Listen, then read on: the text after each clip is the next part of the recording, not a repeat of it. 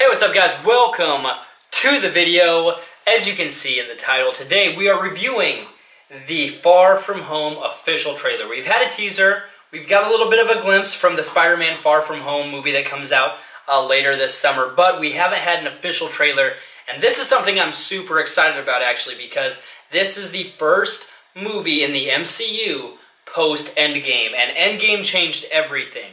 Uh, the entire world, the entire landscape has been completely changed post Endgame. Now, I don't really want to get into spoilers unless there are spoilers in the trailer.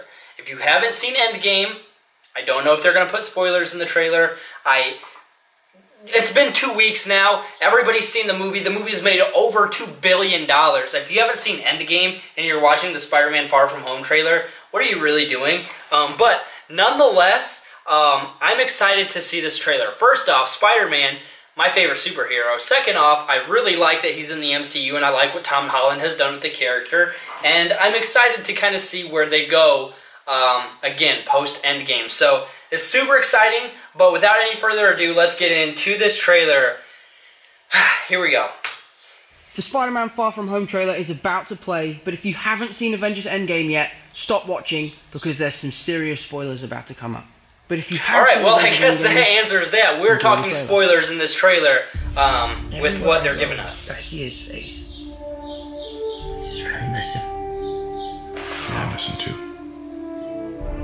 I don't think Tony would have done what he did if he didn't know that you were going to be here after he was gone.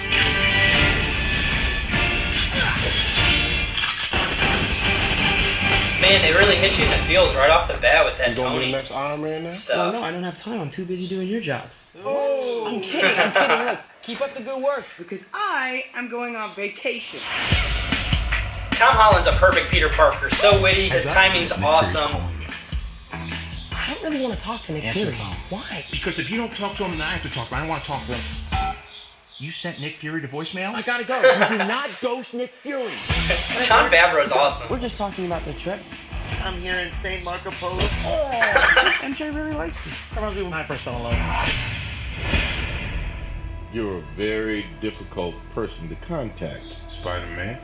Nick Fury and Spider-Man together. Wow. This is Mr. Beck.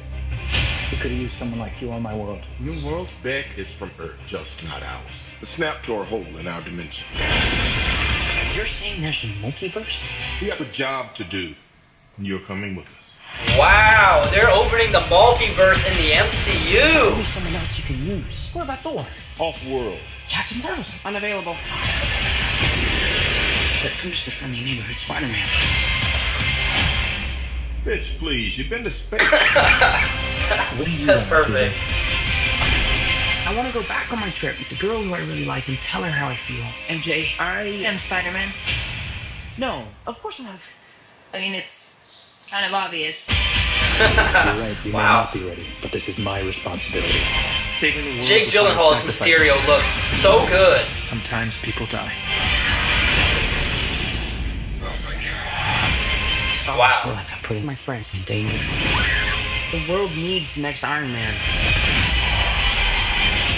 Are you going to step up or not?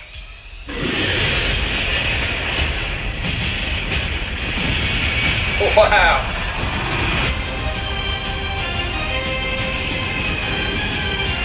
Got shield jets and everything. I work with Spider-Man. You work for Spider-Man? I work with Spider-Man, not for Spider-Man. New plan. Wow. Wow. Whoa, that trailer had a lot. If you haven't seen Endgame, I really hope you didn't see that trailer. Whoa. The world needs a new Spider or needs a new Iron Man, and they are setting him up. They are setting Spider-Man up to be, I feel like, the real leader of the MCU. And opening up the multiverse? What? I know they just had uh, Into the Spider Verse, which was um, Sony's animated movie that came out in December, but opening up the multiverse in the MCU, that changes everything. You've got. I mean, sure, they went back in time, they opened up all these different timelines. The Thanos snap really kind of. It, it shattered all dimensions, it shattered the universe, and Wow, I like what I saw with that trailer. Spider-Man, his suits looks great. The Iron Spider costume, I'm glad he's back in that at the beginning, kind of giving homage to giving homage to Iron Man. Um, I like that they let off with that heavy Tony emotion, the feelings that Peter Parker's obviously going to be going through when he saw his mentor die, give his life to save everyone. Um, like uh, he's in high school, he's like a sophomore or a junior in high school, and to see the person that you look up to, the person that you have really wanted to embody and become, die and give his life for everyone like, think about that. Like, he's got to be going through so much, um, and to still be doing what he's doing as Spider-Man, to be um, carrying on the mantle of uh, superhero after everything they went through in Infinity War and Endgame.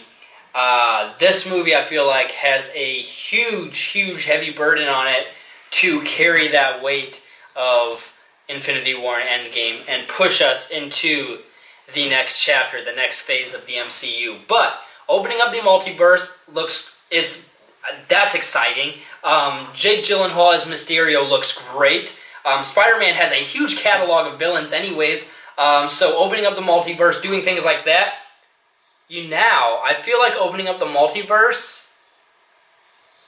Can they play with Venom? Tom Hardy's Venom can they start to do some things now that they are they've opened up they've opened up that sandbox now with the multiverse? Can they can they bring in tom hardy's venom maybe in a third spider-man movie or something like that? It gets very interesting it gets very interesting and very fun at this point. But i loved the trailer and the nick fury stuff i love how so how much they're tying spider-man into the mcu and how much they are going to let him kind of carry. Because in the comics in in so many like animated TV shows and things like that Spider-Man carries a very heavy role a very big role in the Avengers because he's like a god. Seriously once he got bit by that spider superhuman strength superhuman speed um, like like he is he's the best a person can be and then he can swing from webs as well. Like come on